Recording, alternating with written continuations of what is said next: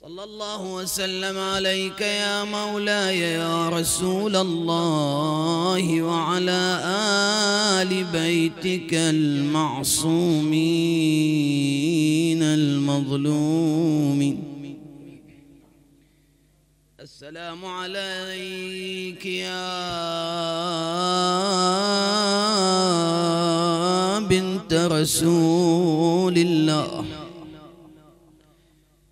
السلام على الصديقة الطاهرة والدرة الفاخرة.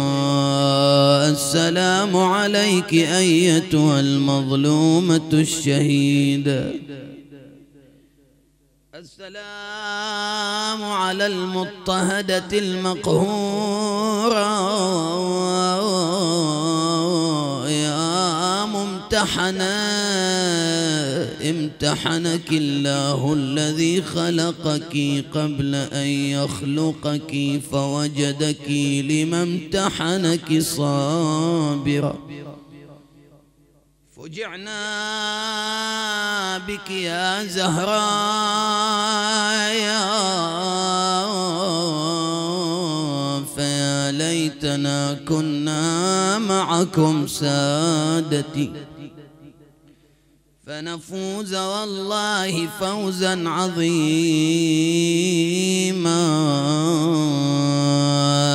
لست تدري لم أحرق الباب بالنار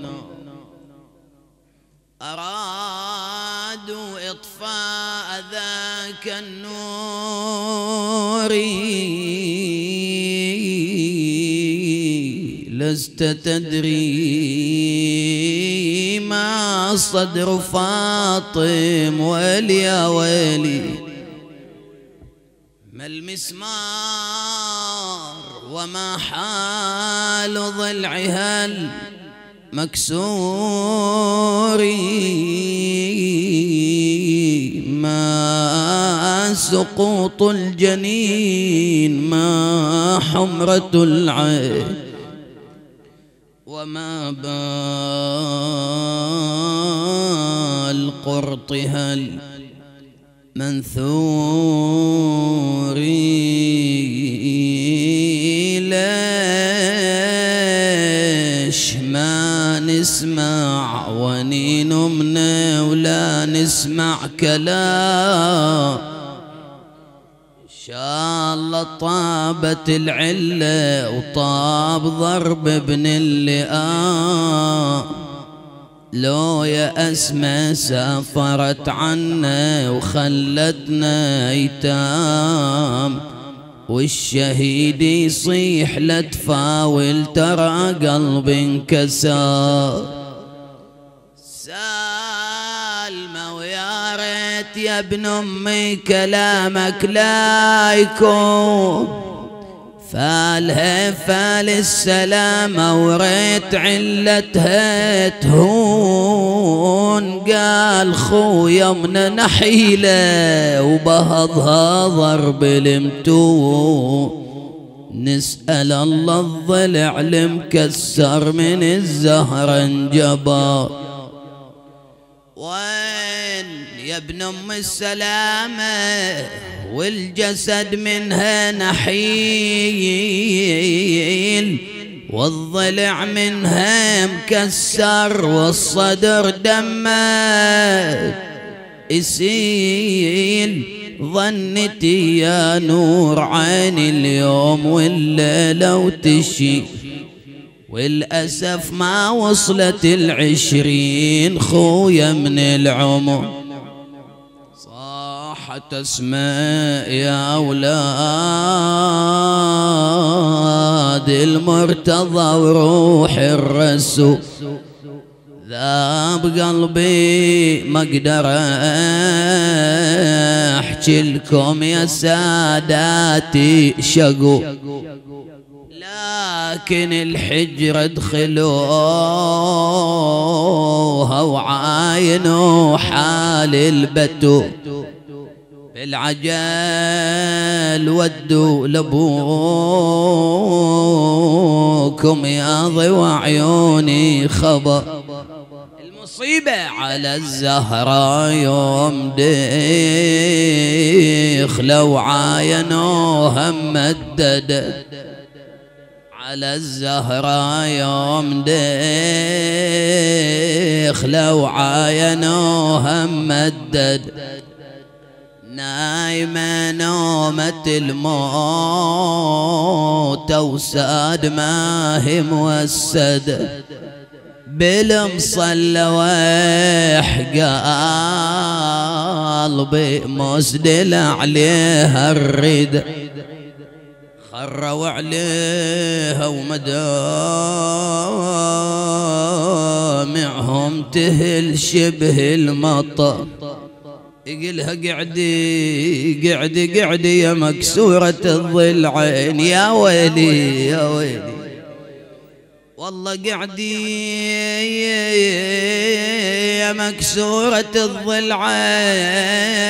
أناديك يا زهرة وأنا حسين ما كانت العادة عن أولادك تصدين يا قلب ذوبه اليدمعي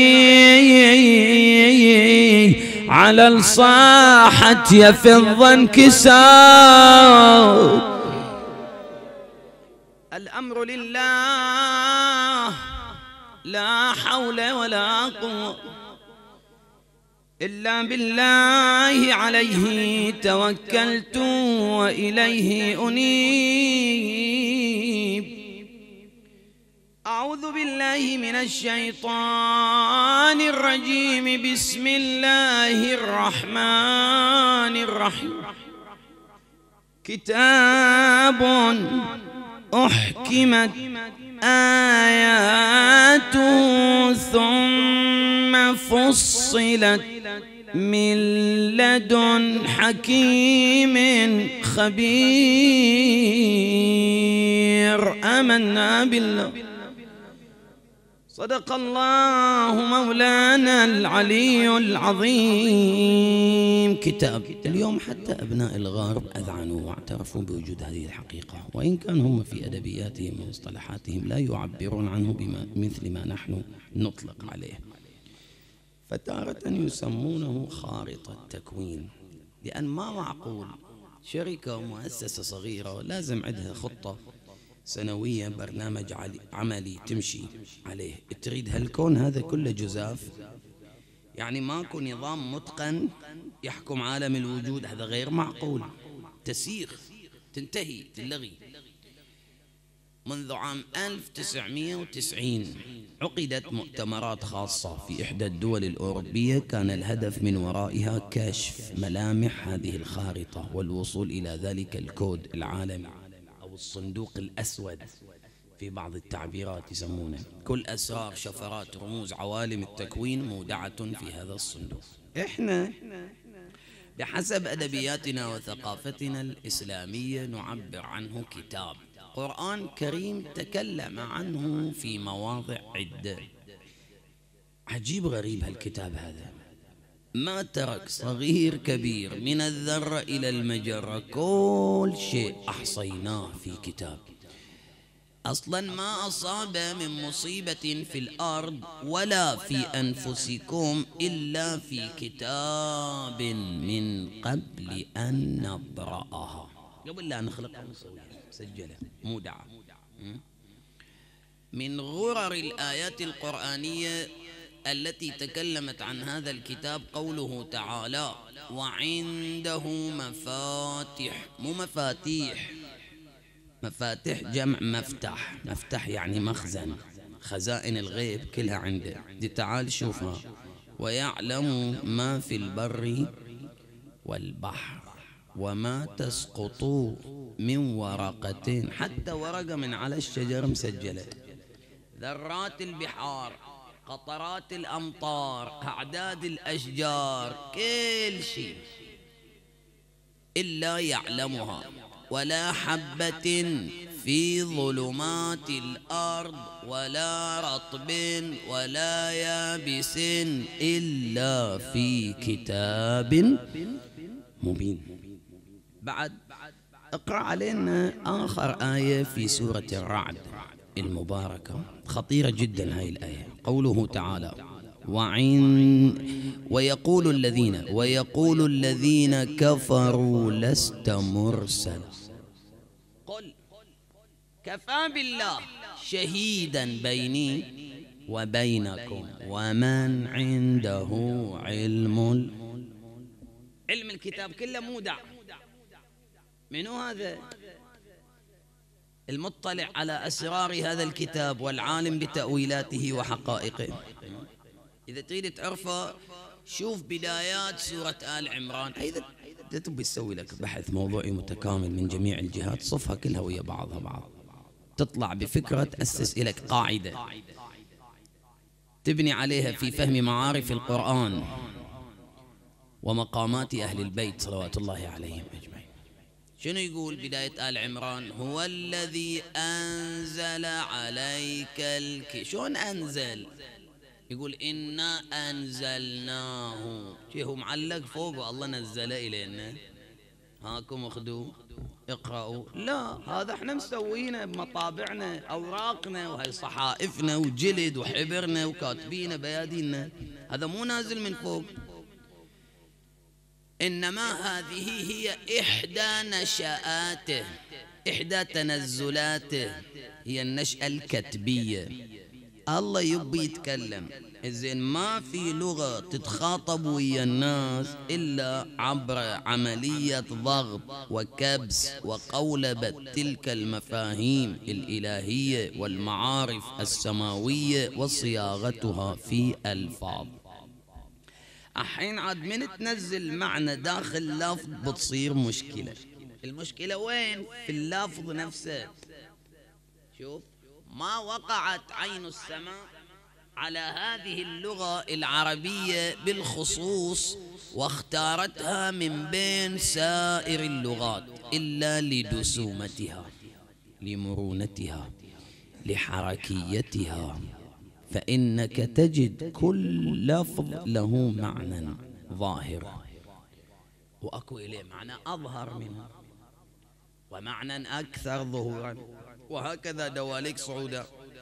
في نفس الوقت له معنى باطن خفي. ومعنى أخفى منه. ومعنى أكثر خفاء. وهكذا دواليك نزولا سبع إلى سبعين باطن في اللفظة الواحدة. دلالات مراتب مستويات من يقدر يغوص. في بطون هذه الآيات ويكتشف لنا معارفها ويبين لنا تأويلاتها. منه. يقول هذا الكتاب الذي أنزل عم بقسم على قسمين. هو الذي أنزل عليك الكتاب منه آيات محكمة. هن. هيجودها الأصل المصدر أم الكتاب. وأخر زين لو إيش سويت لنا الدوخة هاي؟ محكمات متشابهات. من وين صارت هالحالة هاي؟ إنما ظهرت ظاهرة التشابه نتاج تنزل تلك المعارف وصياغتها في ألفاظ. واللفظ مرن يتحمل معاني عديدة. حمال ذو وجوه. كل من عليها فان ويبقى وجه. يلا هذا. هاي وجه. قالوا إليه وجه. وبعد يعترف يقول وجه ربك. وجاء ربك. يد الله فوق أيديهم. استوى على العرش. خلاص. وجوه يومئذ جسموه مثلوه وصفوه. حدوه سووا له شكل دائري وحطوا عوينات وآذان وركبوا له أيادي وقعدوا على كرسي واستوى على العرش وبيد عكازته وحوطوا عليه ملائكته عاد يوم يخلون لحية ويوم يشيلون ولا إحنا دارين حين وفي لحية وإذا حميت نار جهنم يوم يكشف عن ساق ينزلها وبرد. أيوة ويلا. صحيح البخاري هذا. وهي عقيدة ما جايبيها من موسكو. ولا ماخذيها من غير بلد من القرآن. نطلعيها بس كله يصيدون متشابهات يعني مش شابهة في المعاني إذا قلت وجه. أحد مصاديق الوجه هو هذا وجه الدائري. بس مو منحصر المعنى فيه لا. أكو هناك مفهوم حركي فوقاني. جامع مهيمن على كل هذه المصادق. ولذا نقول نحن على نحو الحقيقة للعناية ولا التجوز وجه البيت. إليه وجه البيت لو لا. طفل أبو أربع سنوات يفتهم هذا المعنى. ما يتخيل بيشوف يعني قرص دائري وما شاكل. وجه الكتاب. ولي ظهر بعد الكتاب. وهم لي بطن. بطن يعني مثل بطني وبطنك. يا وجيهة أي ويش؟ يعني الجهة التي يتوجه بها إلى الله. تبي تتوجه؟ لا الله تعالى هاي الوجهة إنما سمي قرصك الدائري وجه لأنني أواجهك به. هو هاي مواجهات من المواجهة تواجه الشيء. أو تواجه الإنسان بمقاديم بدني فيقال له وجه. مو منحصر المعنى في هذا. لا كل شيء تتوجه به يصير وجه. وجه البلد وجه البيت وجه الكتاب وجه الله. كلها نفس المعاني الجهة التي تتوجه بها إليه. زين ليش ذولا جماعة بس يصيدون من الشابهات من الشابهات قال فأما الذين في قلوبهم زيغ فيتبعون ويش ما تشابه. لو إيش؟ ابتغاء الفتنة. وهي أكبر أنواع الفتن. أن يفتتن الإنسان في ربه. لحين ما عارفين مطمسين. أم الحقائق هاي أم المعارف معرفة الله. ضيعوه دنيا وآخرة. ولا بدلون ولا بيوصلون. إذا تريد توصل لازم تعلي وجه هاي الوجوه وجهاء. بعد وابتغاء تأويله. وينكم وين؟ وما يعلم تأويله إلا الله. الذين أوتوا حقائق هذا الكتاب. ما يعلم تأويل تأويل مو تفسير تفسير يعني الكشف. مثل نقول امرأة سافرة إذا كشفت سفرت هاي بعد كشف. اكشف الغطاء اكشف الستار. التفسير هو كشف الغطاء عن هذه الخطابات القرآنية لبيان المرادات الإلهية. هاي معنى التفسير. الحين إحنا نبغي درجة أعلى أرقى من التفسير. فوق بعد. ألا وهو التأويل. تأويل يعني شنو؟ يعني الرجوع لأول الشيء. من الأول. لأن مر بمرحلتين. أكو مرحلة أولية سابقة. ما قال؟ كتاب أحكمت. أول شيء. بعدين فصلت. إحكام تفصيل. كل شيء في الوجود هكذا مو بس القرآن. لا ينوجد شيء إلا بعد أن يمر بهاتين المرحلتين. أول شيء يكون محكم مجمل مبهم. شوف هالشجرة هاي عظيمة قدامك الحين. أشجار وأوراق وغصون وثمار. قول هاي ويش؟ تدري ويش كانت؟ بذرة حبة صغيرة. اشيلها بيدك الحين ما تشوفها كلها اي كل كل هالشجرة طالعة منها البذره الصغيرة. صدق؟ القيها إلى الأرض. اسقها الماء. لاحظ كيف تتفتق من داخلها فتظهر لك نبتة تكبر شيئا فشيء إلى أن تصبح شجرة عظيمة ضاربة بجذورها في الأرض تؤتي أكلها كل حين. باذن أروح جيب بيضة. ولا شنو؟ اي شنو؟ هاي حياة.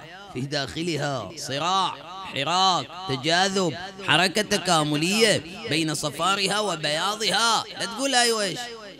خل تتكامل هالمخزون هالمعجون هذا لين تطلع إلى النشأة الثانية نشأة التفصيل. تتقدر تتفصل تيجي كتكوت لين تصبح دجاجة متكاملة. حتى الإنسان لو تشوف خمسين سبعين يمكن ثمانين كيلو. طول بعرض. هذا ويش كان؟ نطفة. بالله عليك. صغيرة. حقيرة. يستقلها الإنسان بعينه. يقول هاي شنو؟ لا تقول هاي شنو. هاي روح إنسانية ناطقة في داخل هذه النطفة. مخزونة. ما تشوفه إلا لازم يطلع. يتقدر يتفصل يتجزأ من عالم الإحكام إلى عالم التفصيل. يلا قدره سريع إذا ما تقدر لا يمكن أن يأتي. قدر طولة عرضة لونة شكلة زمانة مكانة ابن من وين يعيش وين يموت شي يحصل ما يحصل كل مقادير الإنسان. هل أتى على الإنسان حين من الدهر لم يكن شيئا؟ ما كان مذكور. نطفة لا اسم لا رسم لا شكل حتى أبوه ما يدري عنه. لازم يتقدر. يصير لك مضغة علقة ما أدري جنين إلين يطلع. وهكذا الكون كله. كل هالوجود هذا أيضا مر بهاتين. مرحلتين كان محكما هذا الكون. مخزون في خزائن الغيب. ثم فصل قدر. مثل سيدي على قولة الشباب. شايف هالسيدي أبو دينار. راح يقول هاي شنو؟ هاي شنو؟ هاي ملفات برامج الدنيا كلها مخزنة فيه. لو تقعد عليه ستة أشهر ما تخلصه. السيدي هاي قرص. مغنط الحين الحين مخزن. فتح. اقعد وفتح. اشتغل عليه. كان مخزون ثم فصل وقدر. الحين إحنا نشوفه اكو كل شيء قدامنا. مفصل واضح. سماء أرض شمس قمر شجر بشر حجر. ونعلم أن هذه الظواهر الكونية لا تنوجد إلا من أحد عناصر الطبيعة الأربعة. خفيفان ثقيلان. ماء هواء نار تراب. بعد غير هاي ما ممكن لشيء أن ينوجد. لا. نحن نسأل عن مرحلته الأولى. يعني في عالم الغيب في خزائن الغيب. من أين وجد هذا الكون كله؟ يعني ما هو أول شيء خلقه الله عز وجل في عالم قبل السماوات وقبل الملائكة ستار الظلم والعدم مطبق. وقد تفردت الذات الإلهية بوحدانيتها. تدري أول ما خلق الله شنو؟ خلق النور. نور. بالنور شق ستار الظلم والعدم الله نور السماوات. نور. مو هذا النور قدامك؟ طاقة كهربائية شوي وتخلص. لا أتكلم عن ذاك النور الحقيقي يا نور النور يا منور كل نور. هي سورة النور خطيرة. دير بالك عليها. مفتتح الوجود القضية كلها فيها. مثل نوره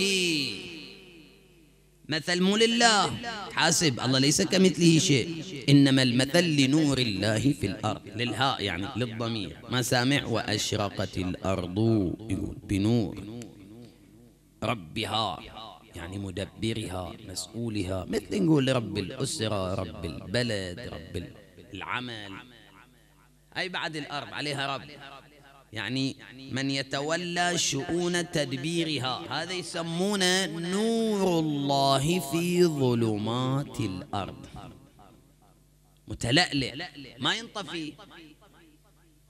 إذا انطفى كل هالظلم يريدون. بس ما يقدرون. إيش عليك؟ تحدي إلهي يقول يأبى الله إلا أن يتم.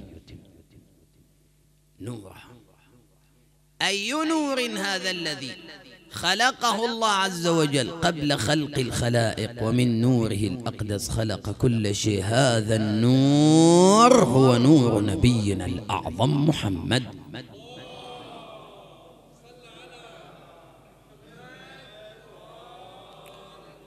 ومن نوره الأقدس خلق كل شيء. هذا النور. حكي مو بس عندنا إحنا لا تخافا حتى هم ابناء العامة جابوا روايات عديدة في هذا المجال.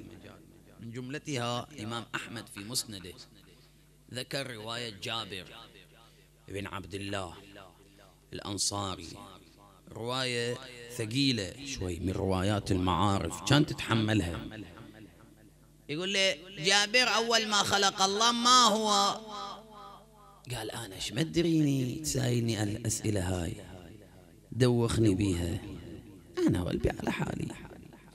قال اعلم أول ما خلق الله نور نبيك يا جابر خلقني قبل خلق الخلائق بألفي عام ثم فتق منه نور علي. هاي رواية سنية في مصادر القوم.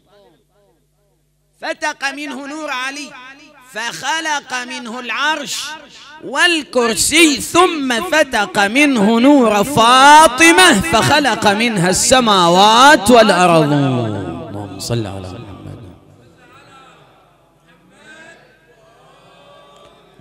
زهراء صارت زهراء. ليش سموها زهراء؟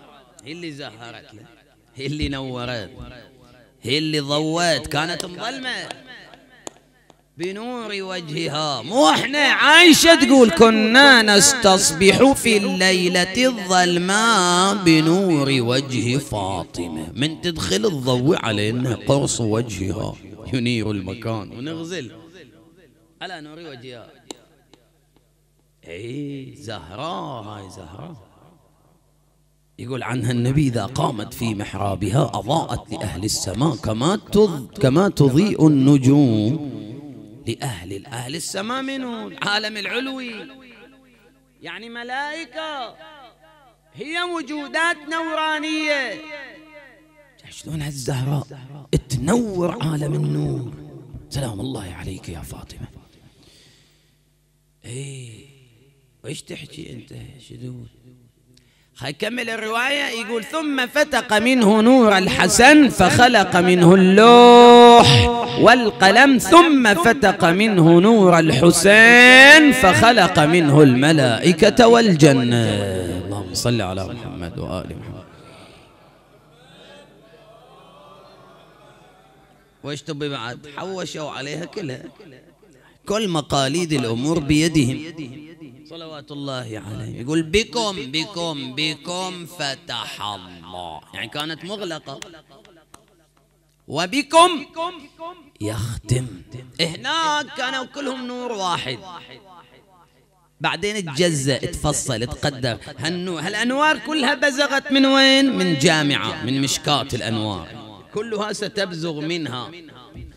أم الأئمة ولهذا صارت هي حجة الحجج. الحجة عليهم.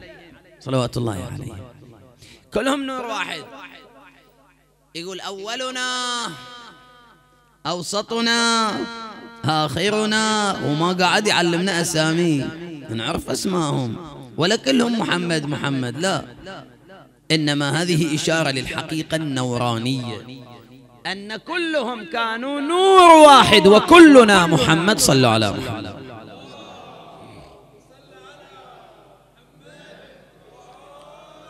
مثل نوره كمشكات إيه، هاي مشكات الأنوار اللي ما حد قدر عليها. فاطمة لا فطمت. فطمت عن المعرفة. ما حد يقدر. سادة الخلق. أنبياء مرسلون. ما حد قدر يشيلها. شوف نور النبي الأعظم صلى الله عليه وآله. احتمله الأنبياء بصريح قوله تعالى وتقلبك أما نور الزهراء لا مباشرة من الجنة. أصلا تركيبتها هي مو مثل تركيبتنا إحنا البشر العاديين. إحنا أكو نطفة وبويضة ويتلقح وما شنو ويطلع. أما هذه لا.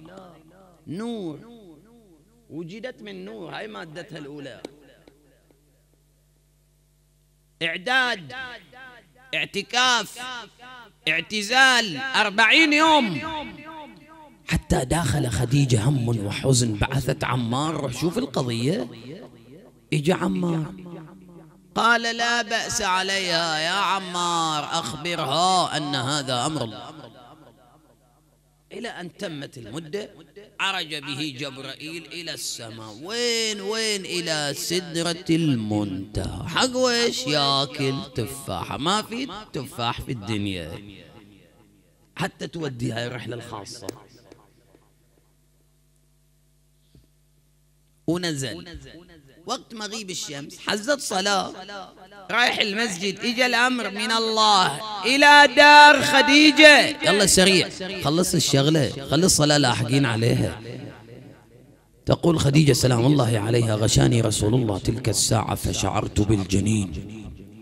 يتحرك من حينه وإذا بوجه خديجة يشع بهاء وضياء والنور في غرتها وكل ما دخل النبي يسمعها تتحجى مع من تتكلمين يا خديجة؟ قالت الجنين الذي في بطني يؤنسني. بالتسبيح والتقديس قال أبشري يا خديجة فإنها النسمة الطاهرة والدرة الفاخرة والخير الكثير الذي أعطاني إياه ربي ومنها سينتشر نسلي. هاي تفاحة الفردوس. هذه مقدومة الأملاك. أم أيمن تقول أنا جيت صحن الدار أشوفها نايمة لكن أعمال البيت قائمة على قدم وساق. المطحنة تطحن وما أشوف أحد ومكنسة تكنس. سبحة إلى جنب الزهرة تسبح الله وتهلله أشوف مهدي الحسين يهتز. حسين يبكي وأسمع صوت يناغيه في مهده. ولا أرى أحدا. إجت مسرعة يا رسول الله. بلى أم أيمن ما وراءك؟ قالت رأيت العجب العجاب من أمر فاطمة. أعمال البيت كلها قائمة. أم أيمن أو تعجبين؟ من أمرها. هذه مخدومة الأملاك. ذاك جبرائيل ميكائيل ملائكة الله الجليل تهبط لخدمتها وعجبا وعجبا مهبط الملائكة. منزل الوحي والتنزيل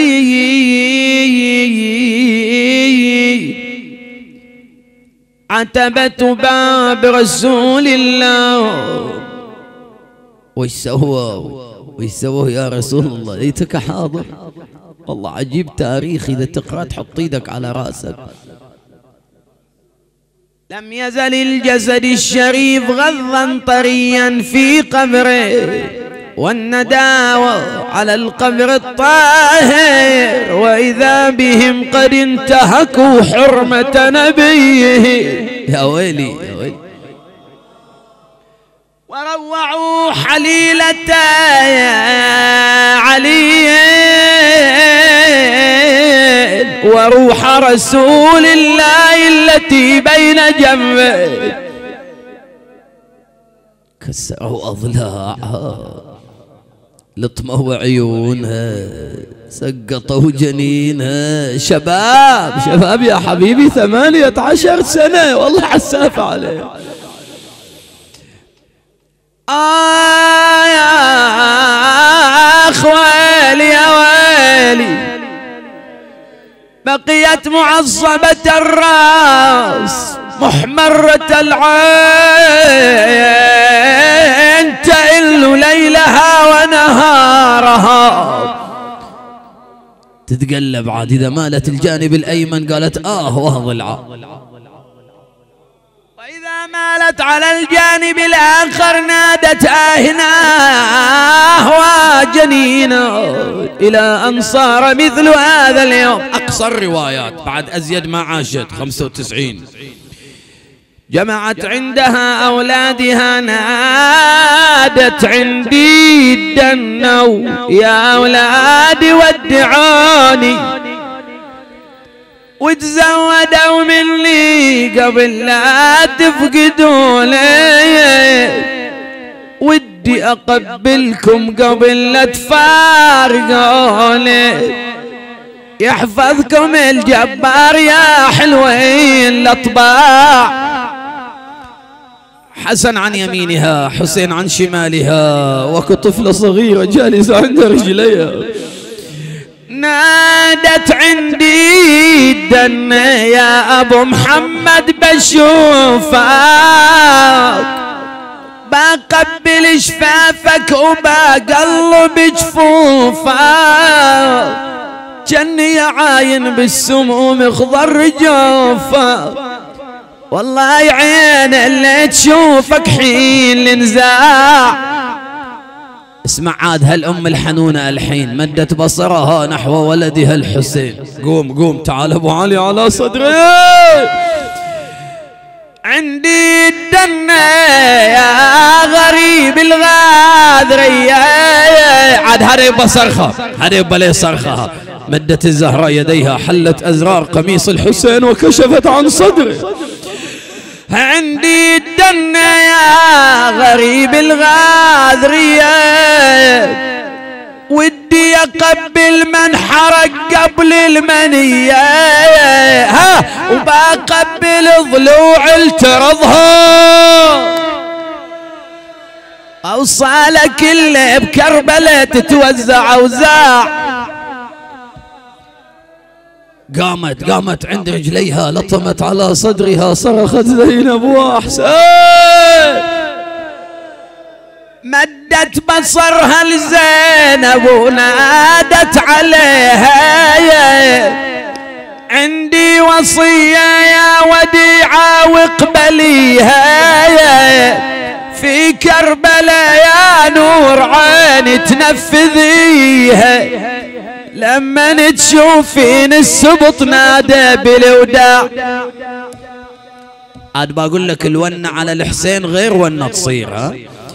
زينب زينب عني ثلاث مرات قبلي منحر حسين.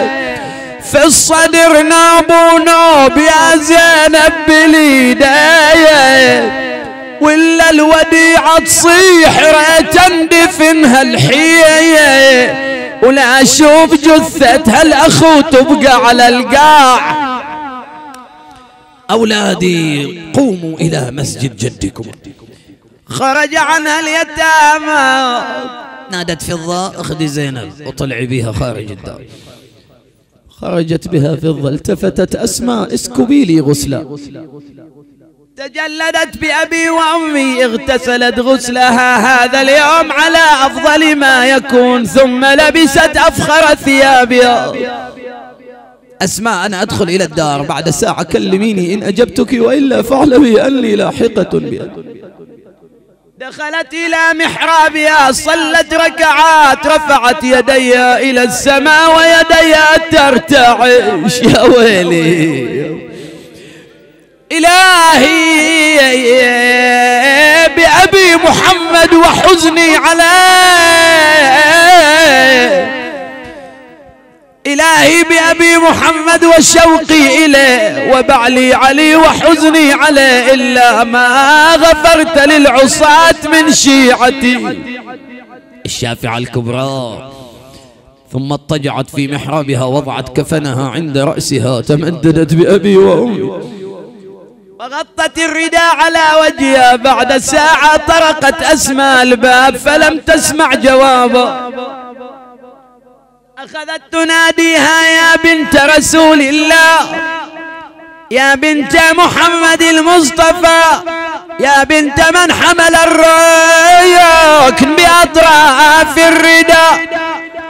يا بنت من صلى بملائكة السماء مثنى مثنى. لم تسمع جوابه. أحس قلبها بالشر. فتحت أسماء الباب. نظرت إلى الزهراء ممددة. وقد فارقت الحياة ماتت وقلبها مملوء باللوعة والأسى. يعينك الله يا علي. يلا قوم عاد شيل هالجنازة الحين غسلها لكن بدموع عينه لفافي أكفاني. رفعت الجنازة. وبقول لك ها ما شيعوا الزهراء إلا في جوف الليل. ما حد حاضر.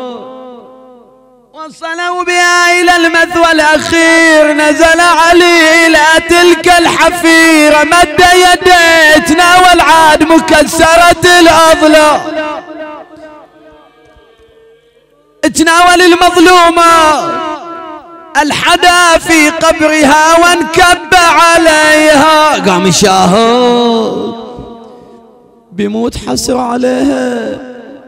زهراء لا خير بعدك في الحياة.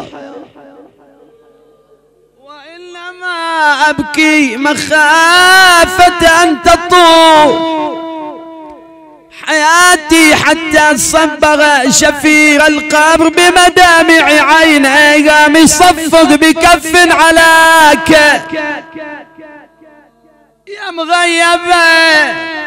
عن عيلتك وسط الترايي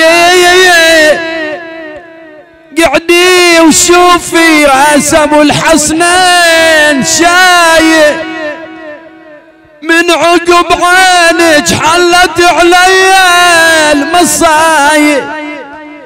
فرقة وشماتة وعيلتك بالدار يبكوا زهراء لا قلت بأسل للحسن صيحني حسين وفرت وراي تعتفر فخر النساء.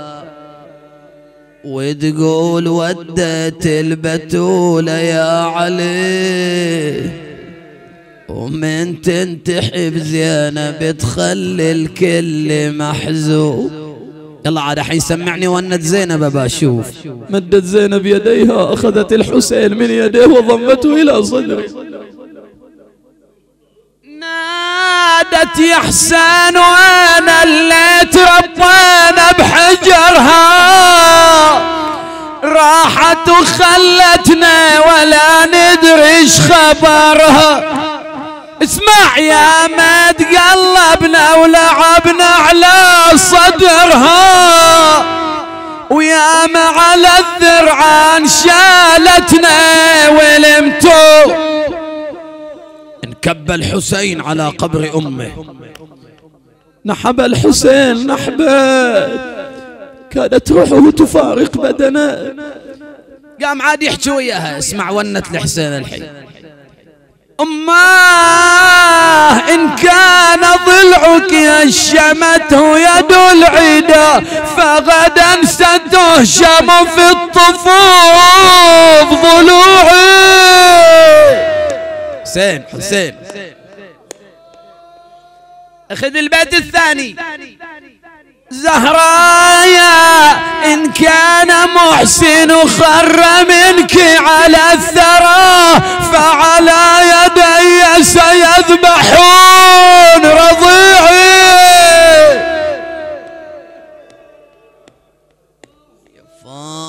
فاطم يا فاطم يم البدور ويا القبر تخفي من بين لقبور جيب السدر لبنك وكافور خبرك بصدر حسين. ولأي الأمور تدفن سرا بضعة المصطفى ويعفى ثراها. حق الزهراء وأبيها وبعنها وبنيها والسر المستودع فيها. فرج عنا يا الله. وعن إخواننا المؤمنين والمؤمنات وعن جميع المعتقلين والمبعدين والمجروحين. فرجا عاجلا قريبا. كلمح البصر. أو هو أقرب من ذلك يا كريم. إله انتقم لنا ممن ظلمنا وانتهك حرمتنا. إلهي فك قيد أحبتنا. أرجعهم إلى أهلهم. سالمين غانمين منصورين. يا رب العالمين. إلهي ارزقنا شفاعة الزهراء يوم القيامة.